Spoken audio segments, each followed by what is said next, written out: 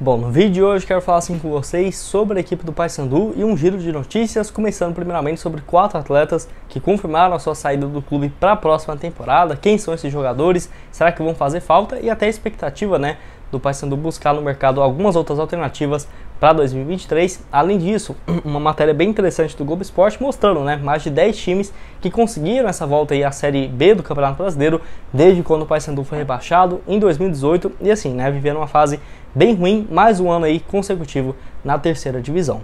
Mas só antes de começarmos, aproveite aqui para deixar seu like, também se inscrever no nosso canal. Eu me chamo Gustavo, contem com a ajuda de vocês para atingirmos essa marca aqui de 40 mil inscritos no Black Cartel, que já está bem próximo, então contem com a ajuda de vocês, torcedores do Paysandu, para chegar a esse número. Aqui já postamos diversos conteúdos, como esse de giro de notícias, notícias do mercado da bola e projeto de clube empresa do Papão, então se inscreve aqui, tenho certeza que você vai gostar. Só antes de dar uma sequência aqui em nosso conteúdo, tem um recado para vocês da SportPix.clube, casa apostas esportivas com boas cotações para alguns jogos do Campeonato Brasileiro da Série A nesse final de semana, tá? Deixei aqui alguns jogos para você apostar, é, como por exemplo no sábado às 7 horas, tendo por exemplo Goiás e Corinthians, uma vitória do Goiás na Serrinha pagando 2.39, um empate 3.50 e uma vitória do Corinthians fora pagando 1.78, boas cotações por lá também. Tem também no caso sábado às 8h30 Flamengo e Atlético Mineiro jogo no Maracanã. Além disso, América Mineiro e Fortaleza no sábado às 8h30. Tem também aí do domingo Ceará e Cuiabá, Palmeiras e São Paulo, clássico às 4 horas. Então vou deixar o link aqui embaixo na descrição, é, no caso da sportpix.clube, para você começar a fazer suas apostas. Bom, quero é, começar esse vídeo falando sobre essa matéria do Globo Esporte, mostrando, né, de, desde quando a equipe do Paysandu foi rebaixado, não conseguiram subir, e vendo mais de 12 times, né, no caso, subindo desde quando foi rebaixado, principalmente assim em relação à mudança que teve, como por exemplo ali que era é, um campeonato totalmente diferente em 2019, desde quando começou a aplicar esse quadrangular, é, quadrangular final, a partir de 2020, a equipe aí bicolor não conseguiu subir desde quando foi rebaixado em 2018, com algumas eliminações na fase mata-mata, realmente faltando pouco. Nesse ano mesmo a equipe começando bem, acabou é, que no caso classificou, mas realmente foi muito mal nessas fases eliminatórias. Eu quero mostrar aqui para vocês. Por exemplo, em 2019 acabou é, não subindo e os rivais que subiram foram aí o Sampaio Correia, Confiança, Náutico e o Juventude. Teve também, no caso, é, em 2020, com Vila Nova, Remo, Brusque e Londrina. 2021, Ituano, Criciúma, Novo Horizontino e Tombense. Além também, nessa atual temporada, que foram ABC, Mirassol, Botafogo de São Paulo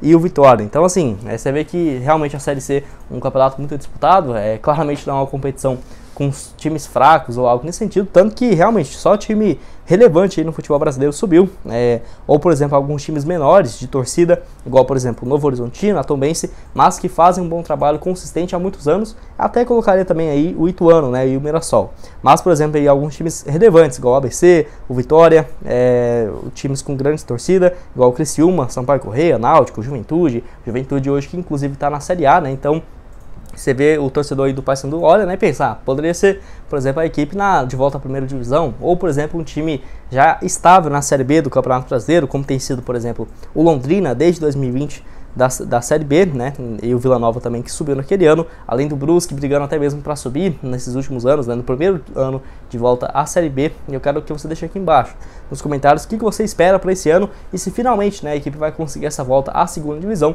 que merece no mínimo estar aí na Série B, porque realmente tem uma torcida para isso. E agora, quem sabe, jogando em 2023 no, no Mangueirão, possa contar aí com a ajuda né, da torcida no estádio lotado para conseguir esse feito para a próxima temporada. Dando sequência aqui também, quero falar sobre quatro quatro jogadores de saída que já era de imaginar que teria alguns atletas deixando aí a equipe do Paysandu e eu quero confirmar aqui junto com vocês o Globo Esporte que trouxe essa lista de quatro atletas. O primeiro que eu quero começar falando, Marcelo Toscano, atacante de 37 anos de idade, ponta direita que até começou bem, né, com a camisa do Papão, fez aí 31 partidas com dois gols marcados. Desses jogadores foi o que mais atuou, né, aí na equipe no ano. Ele que é muito conhecido, já bem experiente com passagens aí no futebol do Japão, jogou muito tempo no, no América Mineiro, além também em Portugal, é, Coreia do Sul. Então, um cara realmente muito conhecido. E só lembrando que até o ano passado ele estava jogando a Série A pelo América Mineiro. Fez 21 partidas, um gol pelo América. 2020 também 40 jogos, 5 gols marcados. E deixa a equipe do Paysandu com apenas dois gols aí nesse ano de 2022. Não conseguiu o acesso à Série B e é um jogador que se tivesse, por exemplo, subido para a segunda divisão, teria continuado na equipe é, possivelmente, né, para o ano que vem. O Marcelo Toscano aí mais um deixando o clube. Só lembrando que o contrato dele realmente ia até o final dessa atual temporada. Outra aqui nesse vídeo é no caso do, do Pipico, né, centroavante aí de 37 anos também. Outro veterano, dois muito veteranos mesmo nessa equipe do Paysandu. E ele que teve números ainda piores. Ele chegou aí depois de disputar é, o Campeonato Carioca pelo Madureira, onde havia feito 11 partidas e 3 gols. Números até que razoáveis. Mas para a Série C é, foi aproveitado em algumas partidas, porém acabou fazendo apenas 12 jogos, não marcou nenhum gol, nenhuma assistência. Lembrando que ele via de uma boa fase pelo Santa Cruz, né? Ele ficou lá de 2019, de 2018 até 2021. No último ano pelo Santa, ano passado, 33 partidas, 12 gols. Em 2020, 12 gols também em 35 jogos. Acabou deixando o clube, foi para o Madureira e nessa passagem pelo Paysandu acabou não dando muito certo, deixando o clube aí também. Vai lembrar que ele tinha contrato com a equipe do Paysandu até o final aí dessa temporada de 2022. É, Outro aqui nesse vídeo um pouco mais novo, o Serginho, ele que tem 31 anos de idade, ele atua tanto de meia quanto de lateral direito e jogou aí no, to no total é, nesse ano, é, foi é, 25 partidas e 4 gols marcados pelo Paysandu, números razoáveis e lembrando que essa foi a volta dele ao futebol brasileiro. Ele jogou muito tempo lá no futebol do Japão, na, na série é, na primeira, na primeira e na segunda divisão de 2017 até 2021 ficou lá na equipe japonesa e voltou, né, depois de ter jogado igual pelo Oeste, Palmeiras, Ceará, voltou ao Paysandu e eu acho que pode arrumar também algum outro time desses que está de saída, né? Eu vejo que tem muito mercado, sem sombras de dúvidas. 25 partidas, 4 gols e quero que você deixe aqui embaixo. O que, que você acha do jogador, do Serginho e se ele deveria continuar para o ano que vem, se não, enfim, é, teve aí no caso também o seu contrato encerrado, ele que é, tinha vínculo ainda por mais uma temporada, mas acabaram chegando a um acordo para sua saída.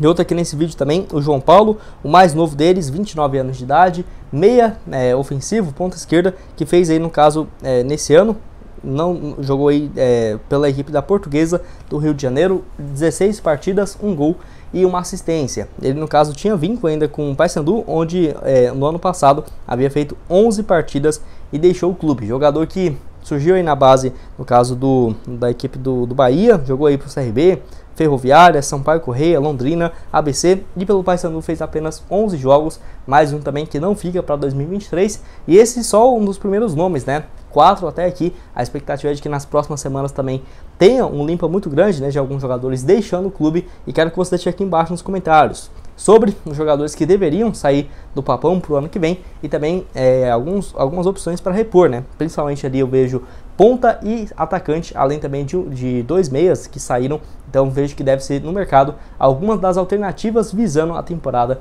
de 2023. Então conto com a ajuda de vocês aqui embaixo nos comentários.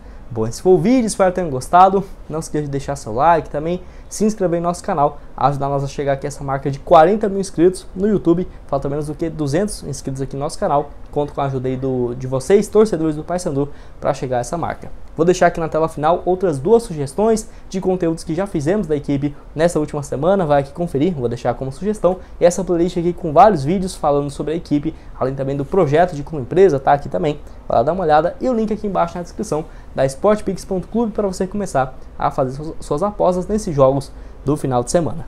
Valeu, galera!